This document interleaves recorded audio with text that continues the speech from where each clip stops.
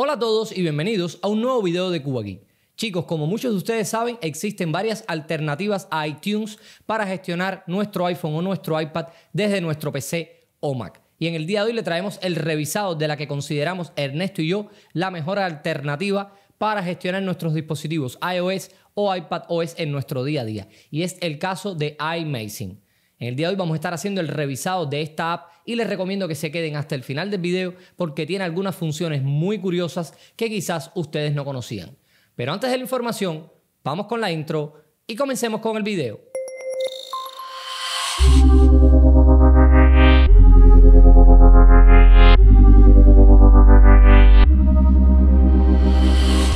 Chicos, vamos a comenzar ya de una vez con este pequeño tutorial que les traigo en el día de hoy de este gestor de archivos por excelencia para Mac o para PC para gestionar tu iPhone llamado iMazing. Lo primero que tienen que saber es que por supuesto en la descripción de este video tendrán un enlace para descargar de manera totalmente gratuita este programa desde su página web oficial.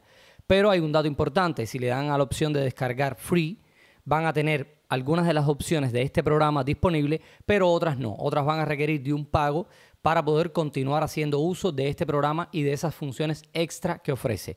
Pero bueno, les traigo una solución que es que para los que la quieran descargar totalmente activada ya, vayan a nuestro canal de Telegram, solamente ponen hashtag iMazing, o sea, el, hashtag para este programa en este caso, como ven, les va a salir aquí automáticamente. Lo envían en nuestro canal de Telegram, que por supuesto tendrán el enlace también en la descripción de este video.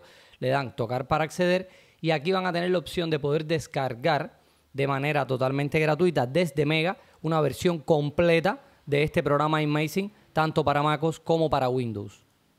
Bueno, y ahora sí vamos a proceder a abrir el programa iMazing para comenzar con el revisado de este gestor para tu iPhone, tanto para Windows como para MacOS. Vamos a esperar a que me abra. Como ven, eh, yo sí descargué la versión eh, totalmente eh, gratuita que tienen en su página oficial para que ustedes vean cuáles funciones están disponibles y cuáles no. Me pide que si quiero actualizar, le voy a decir que lo recordan más tarde. Y una vez ya estamos dentro, como ven, tengo conectado mis dos iPhones. Tengo conectado el iPhone X con iOS 15.3 y el iPhone 12 con iOS 16. Y vamos a mostrar algunas de las funciones que tiene disponible este programa para gestionar tu iPhone. Como ven, tenemos un apartado aquí muy amplio con todas las funciones que podemos hacer, eh, enviar eh, fotos al Mac o al PC Windows e introducirlas dentro del iPhone, música eh, para la aplicación de Apple TV, podcast, entre otros. Pero tiene una función que es la que más me gusta a mí, que es esta función llamada transferencia rápida, que si la ejecutamos, como ven, nos va a salir este apartado y cualquier archivo que querramos introducir en el iPhone, como puede ser esta foto, la va a introducir de manera automática o sea, simplemente arrastramos el archivo, va a detectar qué tipo de archivo es y nos va a dar la opción de en cuál de estas aplicaciones que tenemos instaladas en nuestro iPhone queremos incorporar, en este caso, esta función. Vamos a darle de stop y como ven, automáticamente va a preparar para eh, poner esa foto dentro de nuestra biblioteca de fotos. Una vez hecho esto, le vamos a cerrar ventana y ya esa aplicación, esa foto en este caso va a estar dentro de nuestra aplicación de fotos, pero lo mismo podemos hacer para música, Simplemente lo arrastramos aquí al apartado donde sale el iPhone y nos va a seleccionar cuáles son las aplicaciones de música en las que podemos introducir este archivo en este caso, ya sea LumaFusion, aplicación de podcast, como tono de llamada, o sea que pueden arrastrar cualquier eh, archivo de audio y, tocando esta aplicación pueden agregarlo como archivo, eh, como ringtone de llamada para las llamadas que reciban en su iPhone o directamente a la biblioteca de música. En este caso le vamos a dar cancelar.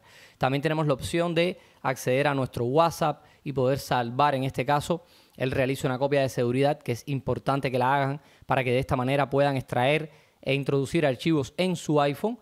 Y como ven, vamos a poder explorar eh, nuestro WhatsApp, vamos a poder explorar nuestra aplicación de podcast, nuestra aplicación de libro, básicamente todas las aplicaciones que tiene nuestro iPhone tanto las nativas como aplicaciones de terceros que tengamos instaladas en ella. Pero también tenemos muchas opciones por aquí que pueden ver. Ya vimos la transferencia rápida, tenemos la opción de realizar copia de seguridad, restaurar una copia de seguridad que hayamos hecho en iTunes o que hayamos hecho en esta misma aplicación para cuando tengamos un iPhone nuevo poder restaurarlo con todas las opciones y funciones que ya teníamos instalado en nuestro iPhone. Y en el caso de que hagan este proceso que les voy a mostrar de hacer una copia de seguridad y hacer una copia de seguridad también de las aplicaciones, no tendrán que volver a descargarlas o instalarlas en su iPhone una vez configuró un iPhone nuevo. También tienen la opción de transferir de un dispositivo a otro, que simplemente van a tener que conectar dos dispositivos, por supuesto, que estén en versiones compatibles y transferir de uno a otro, o del 12 al X o del X al 12 de una manera muy sencilla, toda la información que tenemos en nuestro iPhone. También tiene la opción de gestionar aplicaciones, que esta función actualmente no está disponible por problemas, eh, por algunos problemas que hay con la Apple Store en este caso, que tiene, parece que bloqueada la API o algo y no permite que podamos descargar directamente aplicaciones desde iMissing, pero antiguamente, hace un tiempo atrás, se podía descargar aplicaciones desde iMissing a tu Mac. O sea, de aplicaciones que ya tenías en App Store, que ya habías eh, previamente comprado. Como ven, yo tengo aquí algunas señaladas que pude descargar en su momento. Y simplemente le dábamos a este botón, que ahora no funciona, les estaré mostrando, descargar y se descargaba automáticamente en nuestro Mac. Y ya la teníamos para podérsela poner a otro dispositivo eh, de algún amigo o familiar. Esta función ahora mismo no está disponible, como ven el error que arroja aquí en la pantalla, pero sí tenemos una opción que les estaré mostrando, que es de la de poder, en este caso, venir al apartado dispositivo, donde nos va a mostrar las aplicaciones que tenemos instaladas en nuestro dispositivo. Y si habemos hecho una copia de seguridad previa en nuestro iPhone, vamos a poder hacer una salva de esta app, en este caso. Eh, vamos a darle eh, enviar al Mac, en este caso copiar al Mac como ven, me dice dónde quiero hacer la copia de seguridad, extraer de la copia de seguridad que ya tengo hecha y voy a poder tener esta aplicación, en este caso, en mi Mac para cuando tenga un dispositivo nuevo y vaya a restaurar una copia de seguridad, esta aplicación se instale de una vez y no tener que volver a descargarla, en este caso, desde la App Store. Esto no les va a servir para poderle poner la aplicación. Como pueden ver, tengo varias aquí que ya, eh, que ya extraje, como es el caso de Banca Remota, Spotista, LumaFusion, el BBN 1.1. Esto no les va a servir, como les dije anteriormente, para poder instalarse en un amigo, pero sí les va a servir para si vuelcan una copia de seguridad en un iPhone nuevo, poder instalar esta aplicación desde tu Mac o PC sin necesidad de volverla a descargar, en este caso desde la App Store. Cosa muy útil para cuando cambias un dispositivo nuevo. También tenemos la opción de exportar datos, que sería exportar información de nuestro iPhone tenemos opciones, que son muchas de estas opciones que verán aquí, como realizar copias de seguridad cifrada, ubicación, cambiar la ubicación de nuestro iPhone, reparar ajustes de Wi-Fi, configurar dispositivos, opciones adicionales, entre otras que podemos eh, manejar. Tenemos la opción de actualizar iOS, ya sea directamente desde Internet o eligiendo un fichero IPSW que ya tengamos descargado previamente y vamos a poder de esta manera actualizar nuestro iPhone desde este programa. También vamos a poder reinstalar o restaurar nuestro sistema operativo, pero como ven, para esta opción si vamos a necesitar tener la aplicación pagada. Por eso les recomiendo que vayan a nuestro canal de Telegram, que la descripción está en el enlace. El, enlace está en la descripción de este video.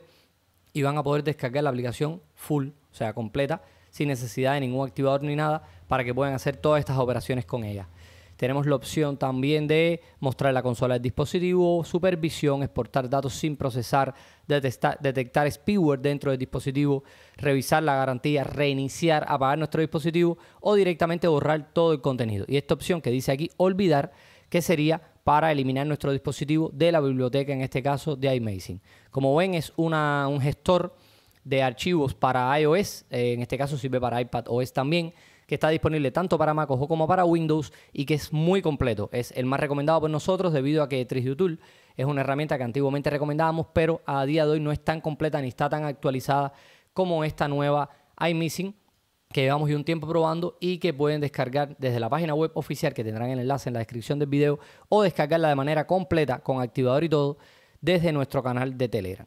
Bueno chicos, y hasta aquí el video de hoy. Espero que todas estas funciones que les estuve mostrando les sirvan para entender por qué Ernesto y yo la consideramos la mejor alternativa para gestionar tu iPhone o tu iPad desde tu PC o Mac. Recordarles que en la descripción de este video tendrán el enlace a la página web oficial de iMazing para que la puedan descargar en su versión de prueba y también a nuestro canal de Telegram para que se unan a nuestra comunidad y también tengan acceso a la descarga totalmente gratuita y de forma completa de esta aplicación para que la puedan utilizar y sacar mayor provecho a sus dispositivos iOS en su día a día. Antes de terminar, me gustaría que me dejaran en los comentarios si tienen alguna duda con el funcionamiento de esta app y si tienen alguna, dejen en los comentarios y se la estaremos respondiendo con mucho gusto. Ya saben, si quieren más contenidos como este, solo tienen que suscribirse al canal, activar la campanita y nos vemos en próximos videos.